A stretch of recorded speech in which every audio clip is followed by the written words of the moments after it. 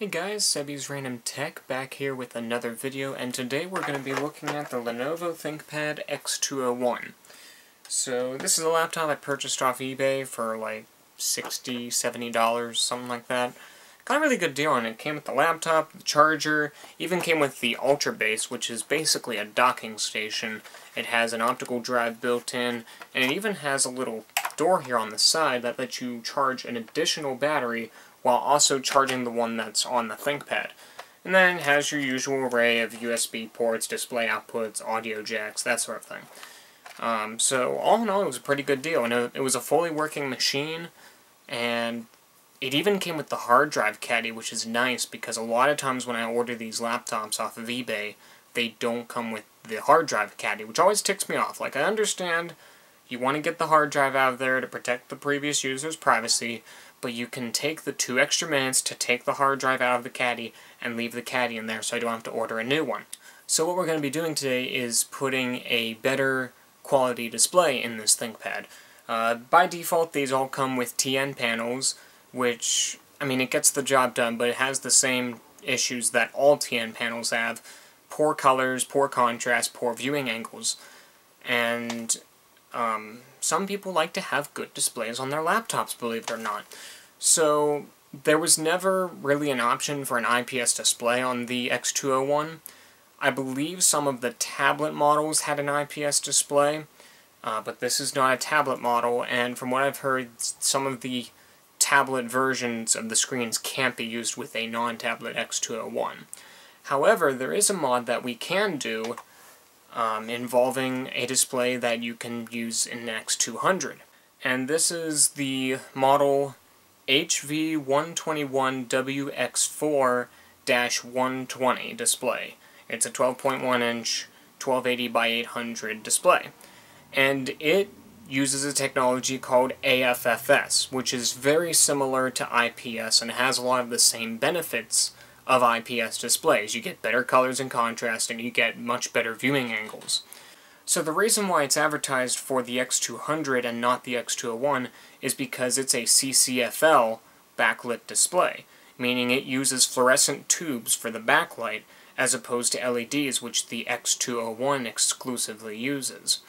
Um, because of this, it can normally only be used in X200s, and even then, it can only be used in X200s which have a CCFL in them, because some X200s had LED backlit screens, while some had CCFL backlit screens. The CCFL displays use a different ribbon cable from the LED displays, and they also have an inverter board for the backlight, which is not present in the LED versions of the display assemblies.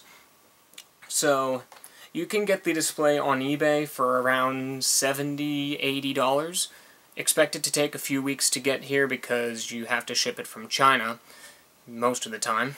And depending on what's available um, or what you can find, in my case I paid $40 for the display assembly that had the CCFL uh, design in there.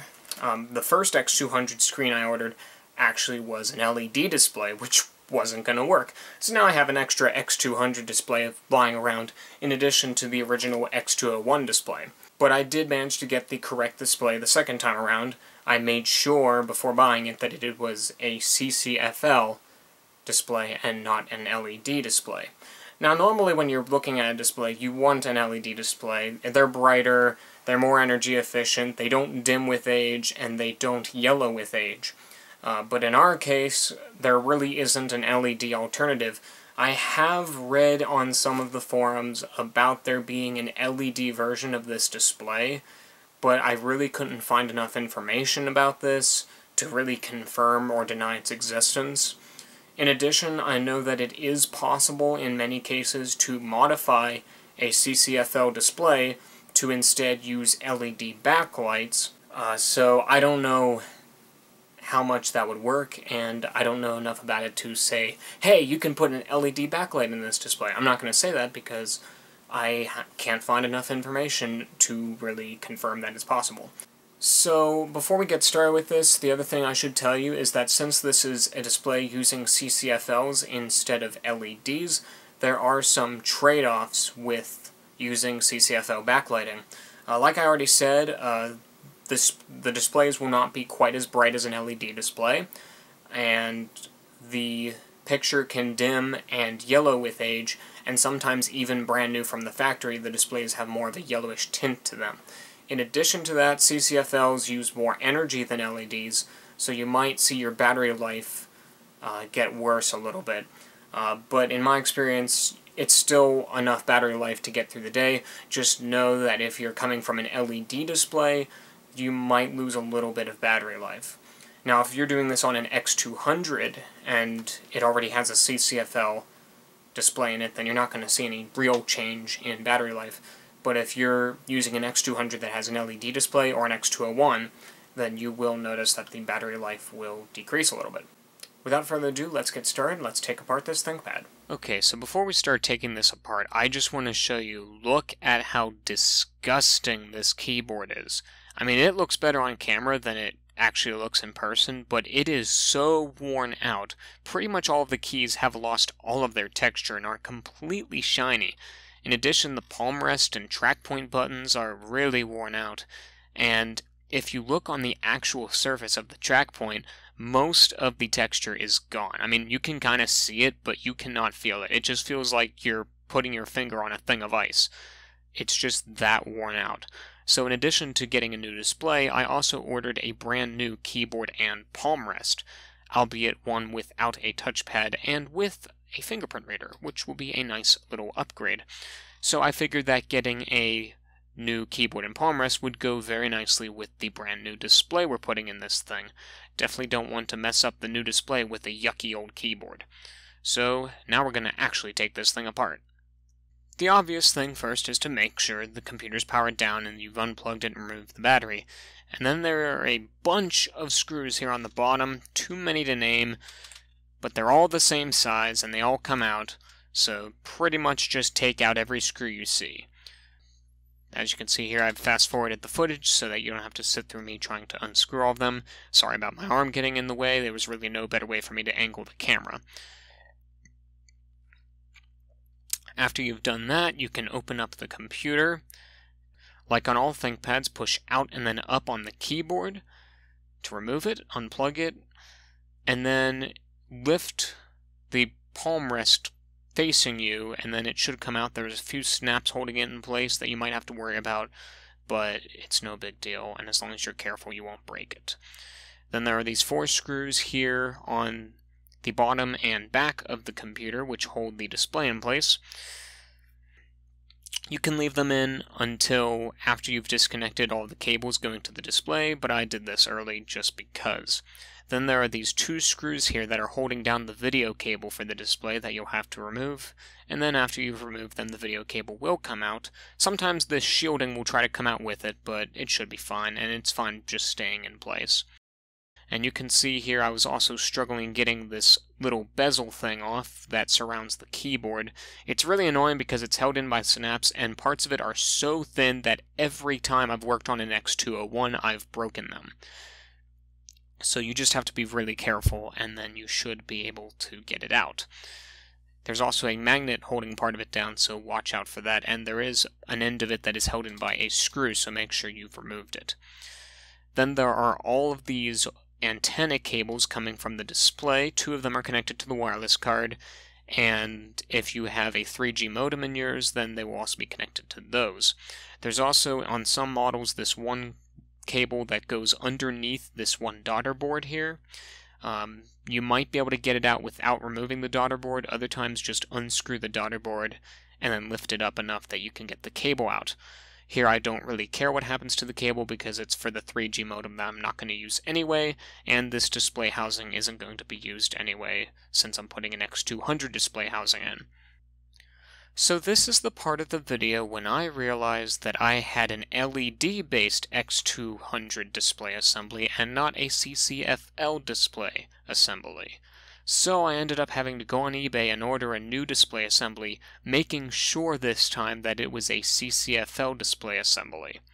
While it is possible to order the display cable and the inverter board separately, I just find it easier to get it all pre-assembled, and honestly, usually the price will end up being about the same anyways. So now we're going to pick up filming a few days later. Alright, so now we have the X200 display assembly. Now as you can see here, there are three stickers along the bottom of the bezel that you need to pry up in order to get to the screws underneath.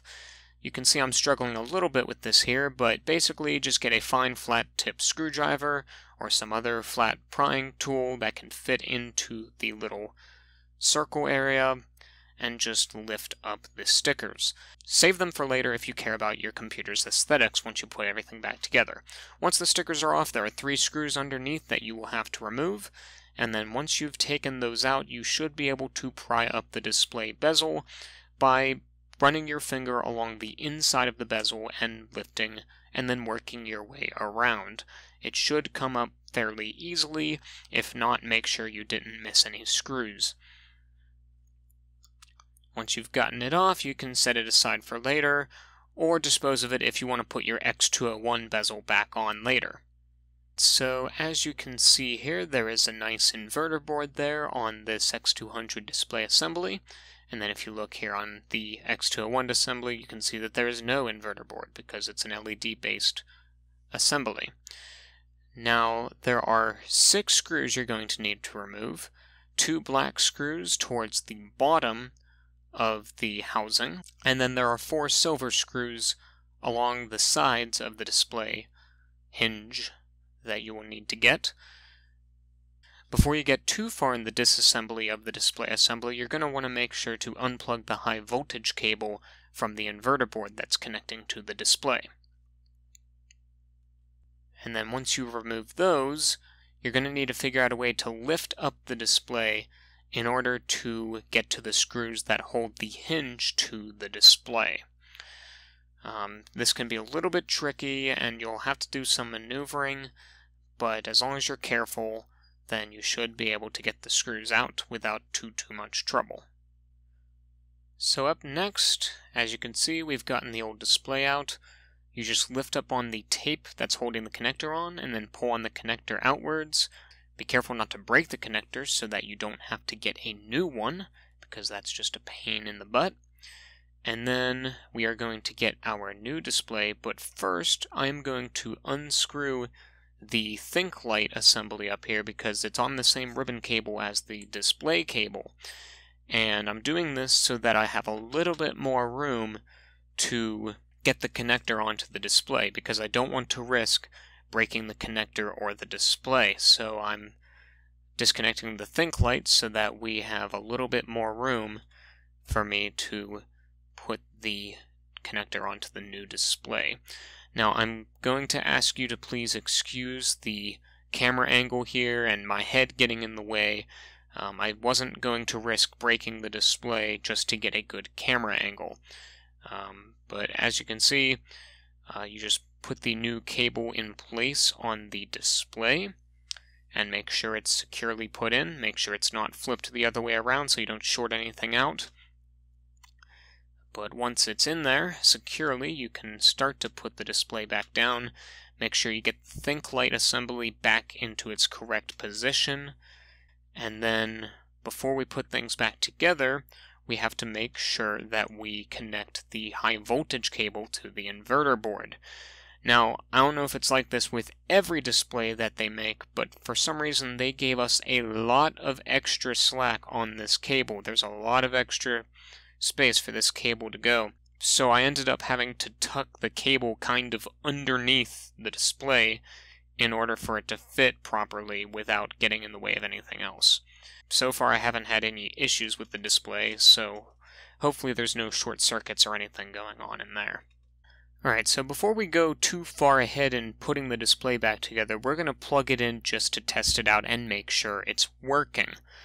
That way we don't get the entire assembly back together only to realize that we did something wrong. So I'm just putting the display connector down here onto the motherboard, and then I am going to connect the keyboard so that we have a way of powering the computer on.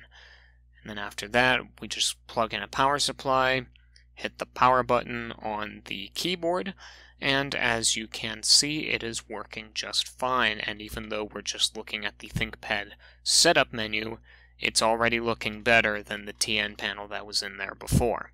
Once you have confirmed that the display is working correctly, we can put it back together. Alright, so once you've gotten all the screws back in place, like those tricky ones holding the display to the hinge and then the ones holding the hinge itself in place, you can remove the screen protector that was covering the screen during shipping, and then you can put the bezel back on. Before you put the bezel back on, just make sure all of the wires coming out of the assembly into the lower half of the computer are in their correct places so that you don't have any issues trying to get the bezel on. If there are any cables or wires out of place, try to adjust them, put them in the right places, and then put the bezel back on. Like I said before, the bezel is held in by snaps, so it should just snap in place. Just keep pushing down as you go around the perimeter of the display and work out any ones that are being tricky, and eventually you will have the display bezel back in place. Once you have done this, you can put the three screws back in place that hold the bezel to the rest of the display assembly, and then you can get those stickers that you saved earlier and put them back on top of the screws. Alright guys, now that we've gotten this back together, just wanted to show you the Windows 10 wallpaper I have on here, and then just a picture of some colors so you can see how nice this display looks. Uh, the camera really doesn't do it justice. It looks so much better in person. Really, the only downside about this display is how dim it is compared to an LED display, and that really limits its usage, especially in the daytime. But it's still bright enough for most tasks, and it just looks really nice. It looks as good as the IPS display on my X230, and as you can see here, it blows my T430 out of the water. And the keyboard, as always, is a joy to type on. So I think this about wraps up the video for today. I hope this video helped anyone out there who's hoping to make this upgrade to their ThinkPad X200 or X201. As always, if there's any questions or you have any comments, be sure to leave them in the comment section. And most of the people watching this video probably are huge fans of ThinkPads, so be sure to check out my other videos. I do a lot of ThinkPad videos. But as always, I hope you guys enjoyed the video, and thanks for watching.